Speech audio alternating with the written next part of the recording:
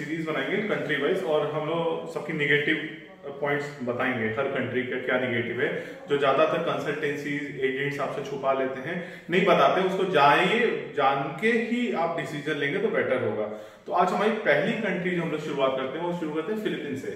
Philippines के लिए आपको एकदम क्लियर कर दें कि ठीक है, उसके सारे हम लोग मेरिट्स के बारे में बात करते हैं कि वो इंग्लिश स्पीकिंग है क्लाइमेट कंडीशन एक्सट्रीम नहीं है, वो आपका कल्चर या कह लिए फूडिंग हैबिट हम, हमारे से काफ़ी मिलती है इंडियन से।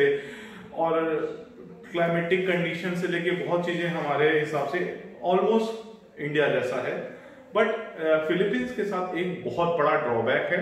और वो ड्रॉबैक आपको जानना चाहिए क्योंकि वो आपके लिए जानना बहुत ज़रूरी है क्योंकि इसके वजह से कई स्टूडेंट ऑलरेडी प्रॉब्लम में आ चुके हैं।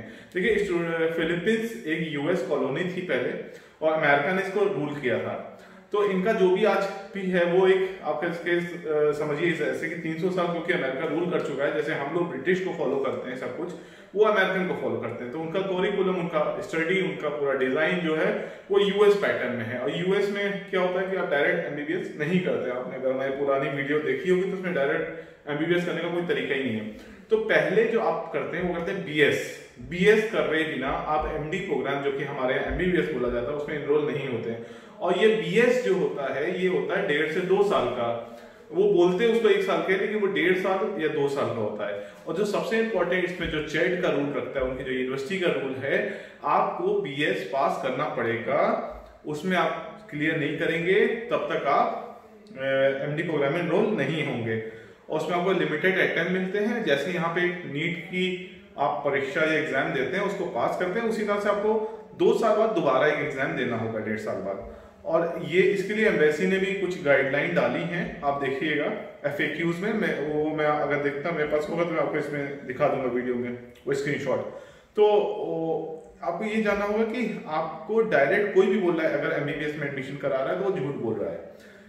आपको वो बंदा बीएस में करा रहा है बी एस में लोग क्या करते हैं, एक ठीक ठाक अमाउंट लेते हैं। अगर आप इनसे फ़ीस स्ट्रक्चर मंगवाइए तो बीएस में आपका एक मेजर पोर्शन फ़ीस का आपसे ले लिया जाता है। और उसके बाद अगर बाई चांस आप क्लियर नहीं कर पाए बीएस यानी एनमेट जो एग्ज़ाम होता है, अगर आप एनमेट क्लियर ही नहीं कर पाए तो वो आपके लिए प्रॉब्लम हो सकती है। तो इसमें बहुत ज़्यादा ऐसे केसेस आए हैं कि इंडियन एजेंट्स ने यहाँ से भेज दिया 700 से 800 एडमिशन हो गए सीट सिर्फ़ 200 थी एमडी की तो उसमें जो 500 600 बच्चे फेल हुए, वो बेचारे फंस गए तो ऐसे केसेस होते हैं क्योंकि आपकी गलती फिर आपकी होती क्योंकि आप जानकारी पूरी लेके जाते नहीं है।